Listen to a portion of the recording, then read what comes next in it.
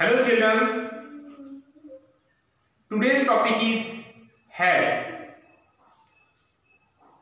where should we use head and how should we use head so look at the word head meaning of head पास था रखता था।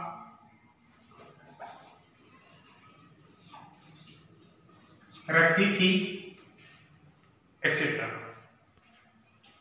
इसके जो rules हैं I you we they plural he she it ने singular इन सभी subject pronoun के साथ में हम लोग I you we they he she it name इन सभी सब्जेक्ट प्रोनाउन के साथ में हम लोग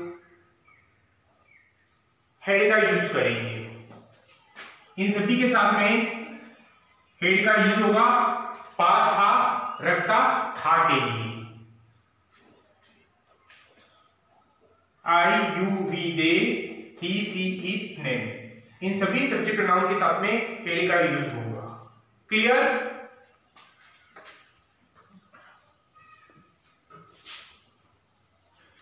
Dear children, first sentence is Ram के पास। आपको समझाने के उद्देश्य से मैं बहुत ही इजी एंड शॉर्ट सेंटेंस यहाँ बोर्ड पर राइट कर रहा हूँ। राम के पास एक धनुष था। अफर्मेटिव सेंटेंस राम के पास एक धनुष था।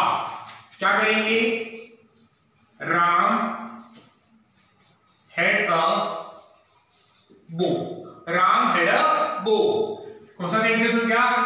अफर्मेटिव अफर्मेटिव सेंटेंस राम के पास एक धनुष था। राम हैड अ बो इस हम देखें। तो हमारा subject plus had plus object ये फॉर्मूला रहेगा। सब्जेक्ट के बाद में had had plus object clear next try करें। किसान की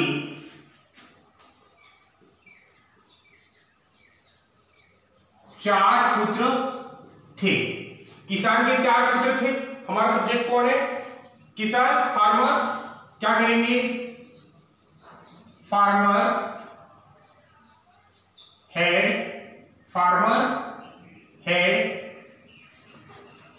और सन्स सन्स लिए करेंगे पुत्र थे। पुत्र प्लूरल किसान के चार farmer had four sons next sentence हम राइट करेंगे। बहुत इजी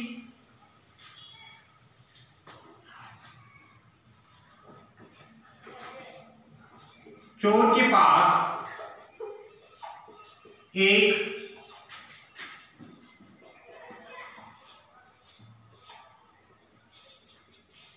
बंदूक थी।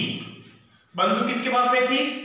चोर के पास में। तो चोर हमारा क्या हो गया? सब्जेक्ट तो क्या कहेंगे? Thief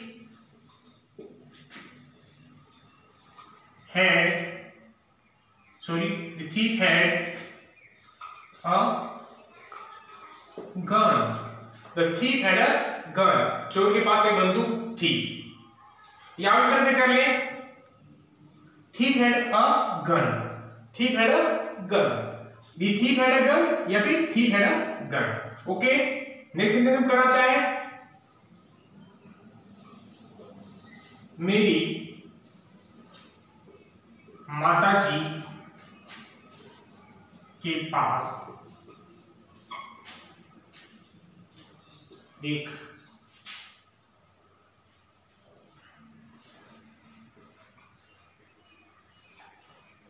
पुस्तक थी। किसके पास पुस्तक थी? मेरे माता जी।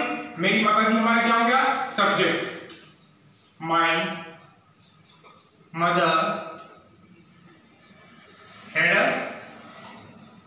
book हम सभी सेंटेंस अफर्मेटिव ले रहे हैं। वेरी इजी हमको हेड का यूज़ करना है।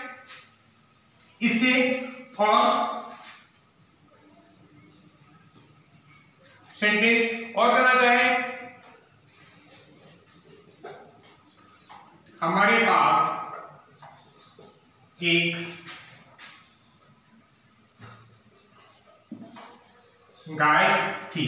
किसके पास में थी गाय? हमारे पास में। हमारे पास सब्जेक्ट हो गया वी हैड अ काउ इसी सेंटेंस को ये करो, हमारे पास गाय थी। हमारे पास गाय थी। बहुत सारी गाय थी हमारे पास में तो क्या करेंगे? वी हैड काउस यहाँ पर प्लूरल हो गया।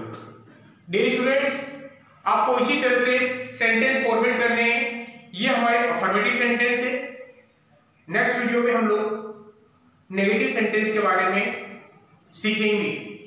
बार बार प्रैक्टिस करिए और इन सेंटेंस को बहुत ही इजी तरीके से बनाना सीखिए। Thank you